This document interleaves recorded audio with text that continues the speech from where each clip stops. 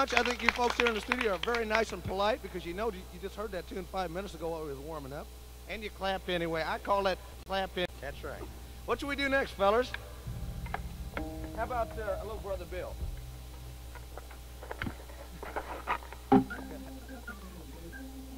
Steve Miller's going to sing the lead on this one. A great organist. All right, pal?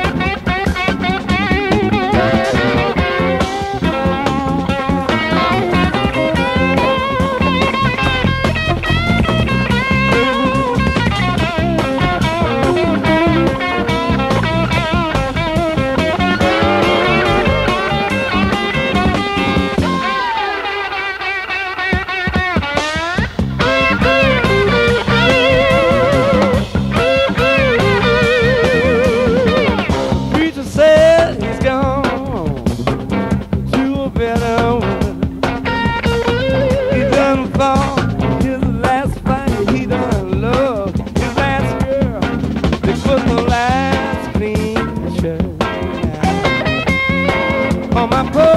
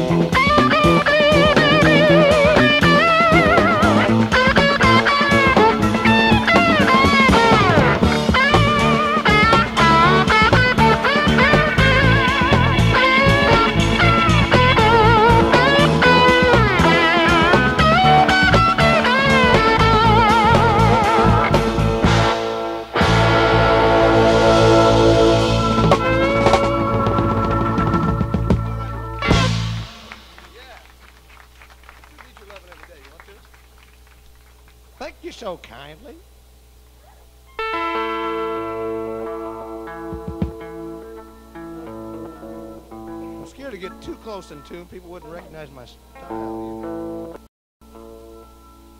All right, let's do uh, Down in the Valley or something similar to that, all right?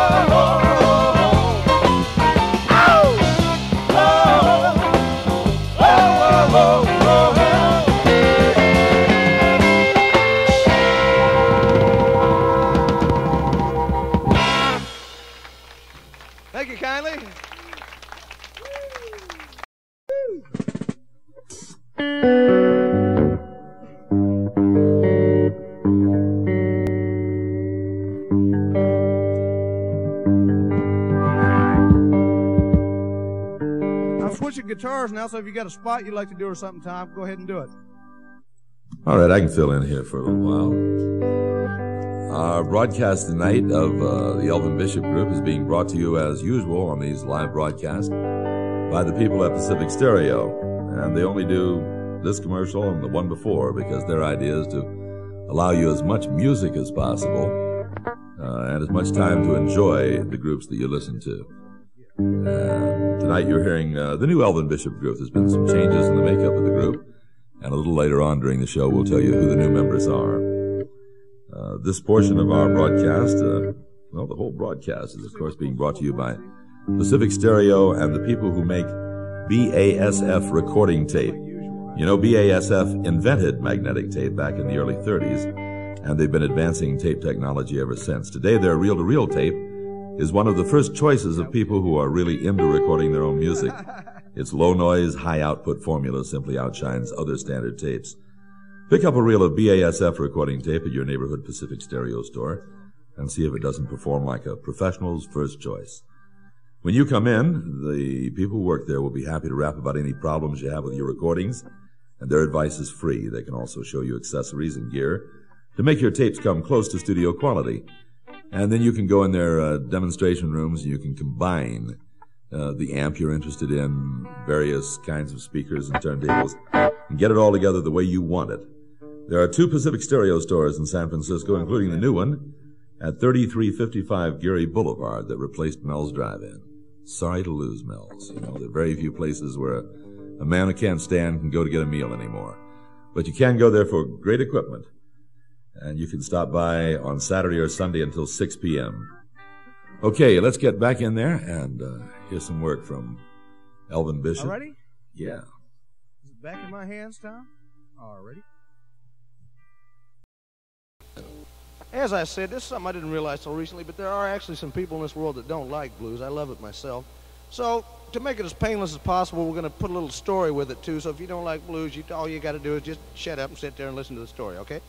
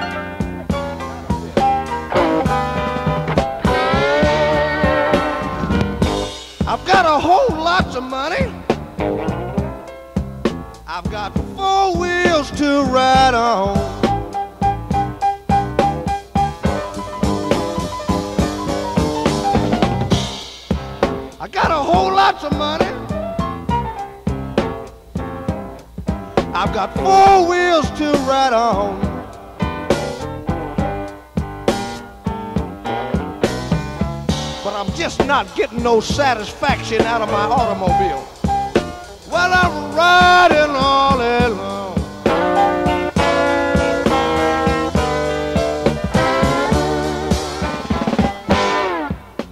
Now, I know this may sound like somewhat of a strange song. The, the words might not be making no sense. My name is Piggly Wiggly. I've got groceries on my shelf. Well, there's a story behind it that I would like to relate to you right now.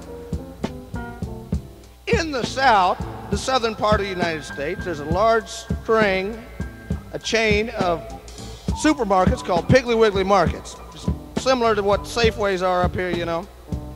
This chain of supermarkets is owned, operated, and was founded by a guy named Piggly Wiggly. He was a blues guitar player and singer. Not many people know this. He, he used to be like me, trying to make a living doing this, you know, but he's smarter than I was. He said, I got to get out of this. I ain't making no money.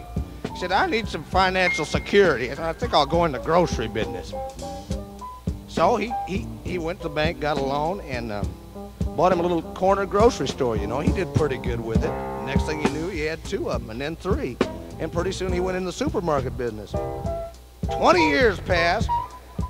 20 years passed, and he was fabulously rich. He was doing well with his business. He drove around everywhere in a big old limousine, longer than this studio is with chauffeur driving up front. He'd sit up in the back, you know, and he had a bushel basket and a rake that he went in his different stores with to rake in the money with, you know, and take it to the bank. He was doing pretty good. But the only thing is, only catch was for 20 years he had to work so hard that he never thought about one single thing in all those 20 years except groceries and money. He never touched a woman. He never thought about a woman. I know that sounds impossible, fellas, but you'd be, this is America. You'd be surprised. You're going to have to take my word for it. But, you know, it was bound to happen one day. I was fortunate enough to be there and be a witness. My hometown is Tulsa, Oklahoma. I was in the Piggly Wiggly. I was nine years old at the time, buying a comic book and a popsicle. And in comes this old rich man. This chauffeur was holding the door open for him, had a $300 suit on, and he walked in, and it was Piggly Wiggly. And he, he looked over on aisle number three, and there was this fabulously foxy, beautiful checker, the most beautiful woman he ever seen in his life. And it just happened. He fell in love. Happens to everybody sometimes. He said, I got to have that woman. He said, I love her. I must have that woman. He said, but wait a minute. Let me think about this. He said, I don't want to just go over and say, my name's Piggly Wiggly. I own this store you're working in. Come on, let's go to bed. That wouldn't be fair. He said, I want to make sure that she loves me for my own true, honest, good qualities, you know. So he said, I, I, I, can't do that. Let me think a minute. He thought a minute, and he turned around, went outside the store. The old hippie was sitting down there on the sidewalk, tall, stoned, and everything. He said, spare change, man, spare change. It's good for your karma. Give me some spare change. And Piggly Wiggly said, uh, come here a minute, man. He took him back in the alley, out behind the garbage cans, you know, and he traded clothes with him. He gave him his $300 suit for some old raggedy, messed up hippie clothes, you know, like, like I got on here, you know, that kind of thing. And he went back in the store, got him an empty cart, went around and filled it up with groceries, and come back and got in line in aisle number three. He said, I'm going to talk to this chick now. I said, ooh, let me get my rap ready. I know I'm just going to knock her out. He got up there, and she checked the groceries for the guy in front of him, you know, and he come up, took the groceries out of his car, put it on the counter, and he reared back, getting ready to rap to her, and a strange thing happened. He lost his cool. His, his throat got dry. His tongue got stuck. You know, he couldn't think of nothing to say, and he got all nervous. His rap was so rusty after 20 years, you know, that he he just didn't know what to do. He just blew it. He got up and he said, uh, "It's certainly is lovely weather we've been having, isn't it?" She said, mm-hmm. Green beans, 39 cents. She rung it up, you know. Just like water off a duck's back. She been, she been there since 7 o'clock in the morning. Every cat that came in had a stronger rap than that. He says, well, I guess I better try a little harder. He said, uh, uh, you, uh, you certainly are a, a, lovely woman, you know. She didn't bat an eye. She said, cheddar cheese, 59 cents. Rung it up, you know. finally, he just lost his cool. He got desperate. He said, But I love you. Said, Woman, I love you from the bottom of my heart. You're the only woman in the world that would ever fall in I gotta have you. She said, Baloney, 79 cents. Rung that up. Didn't bat an eye. Finally, he got desperate. He said, Well, I ain't getting over conversation wise. I'm gonna have to do something, take serious measures. I'm to go out in the car and get my guitar out of the trunk and come back here and play for her. And that's got to melt her heart, break down some of this resistance. And I got to get to this woman somehow. He come back in with his guitar and he said,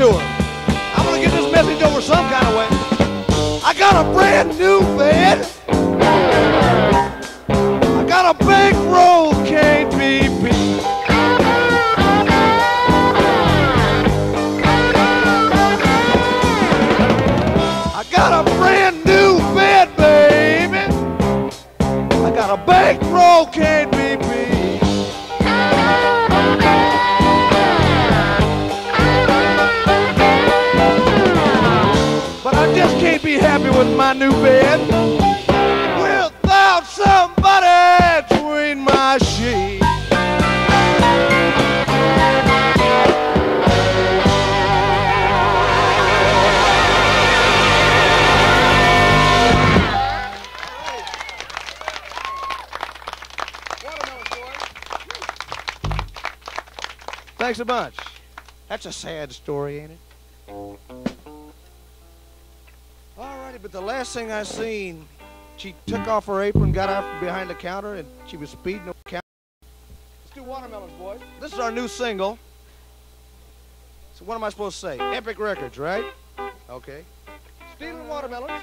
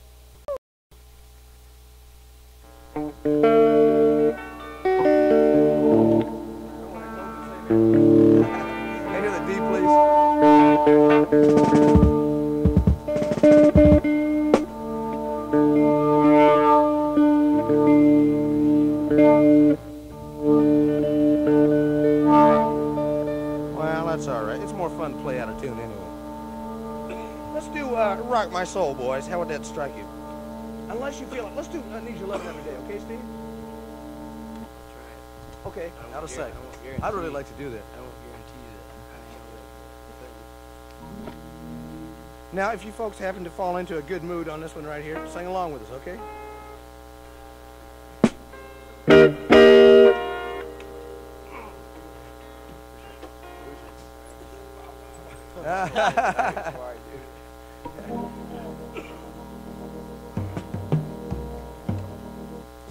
that, that, that commercial they got on TV now for the foot powders?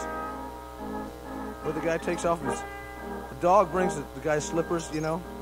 And he gets ready to put his slippers on. He takes his shoe off and the dog falls over backwards. that killed me. Okay, ready?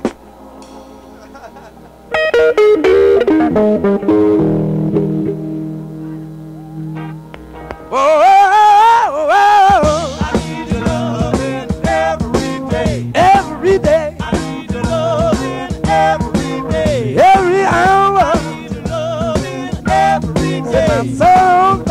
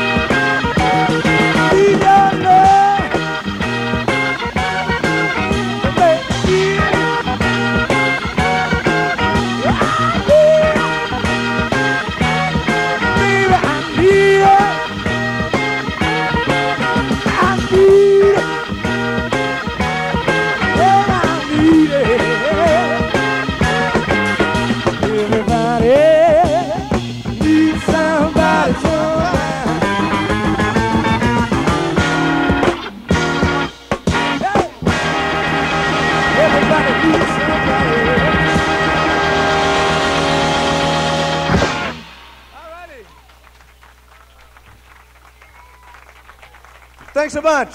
Thanks a whole bunch. Elvin, we thank you. Alrighty, we, we hope you folks at home are having a good time. Tom Donahue tells me that we can take a break now and maybe come back a little bit later. Is that right? That'd be great. Plan this week. Hey. Look out, boys. Shall we do that groundhog song? Certainly. One, two, three.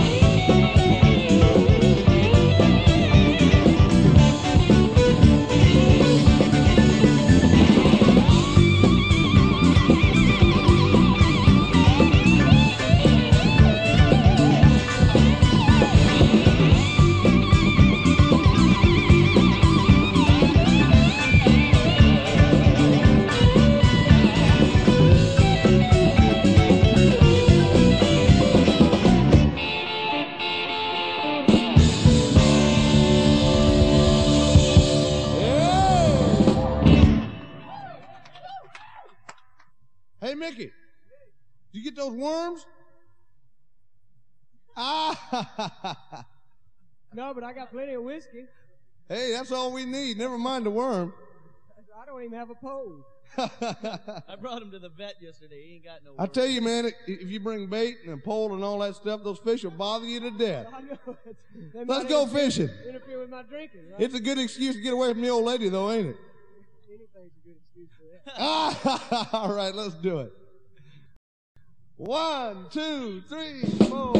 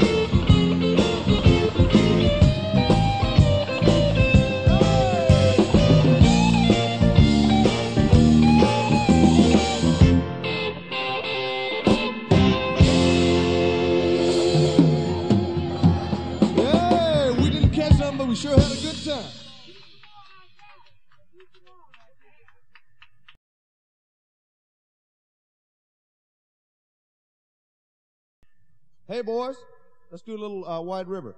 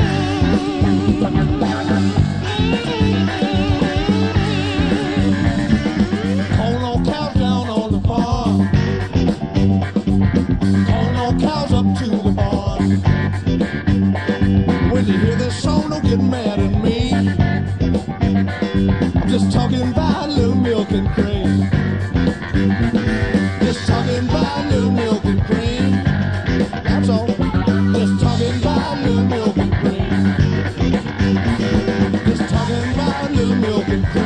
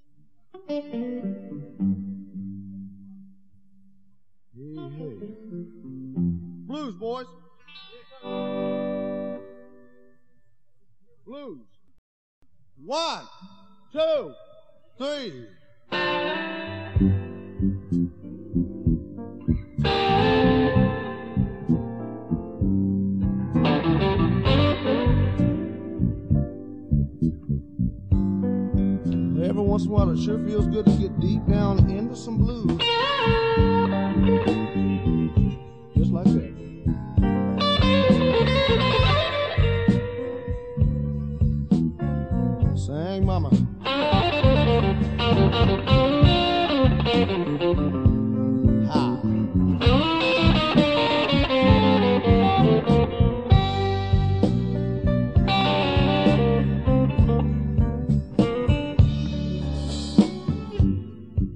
I've got a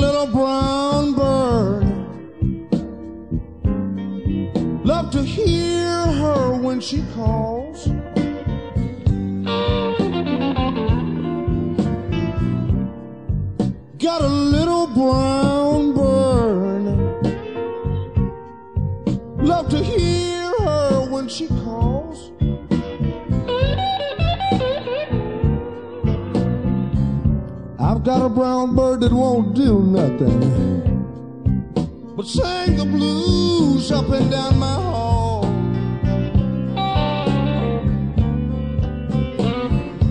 Now listen here. I've got me a bird to whistle. Folks, I've got me a bird to sing.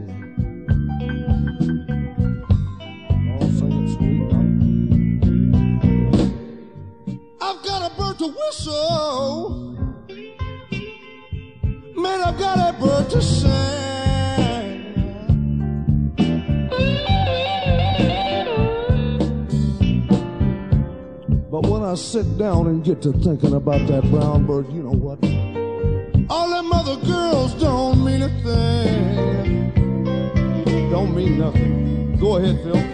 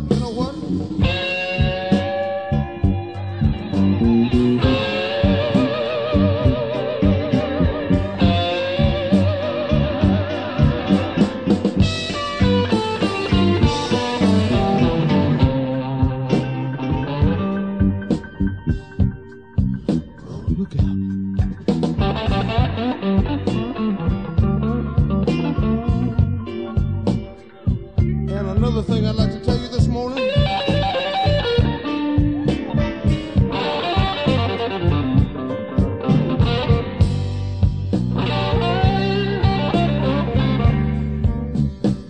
Now, if I wanted to get really personal, I'd do this.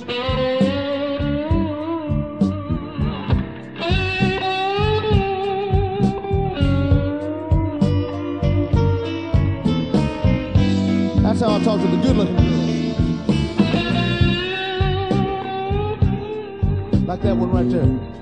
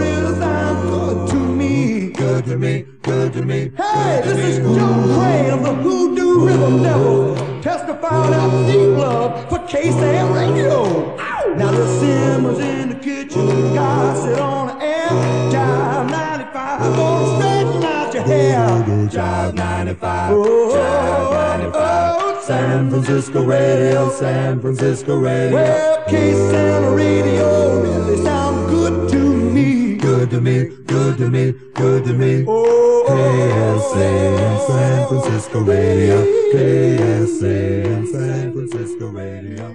KSAN. One.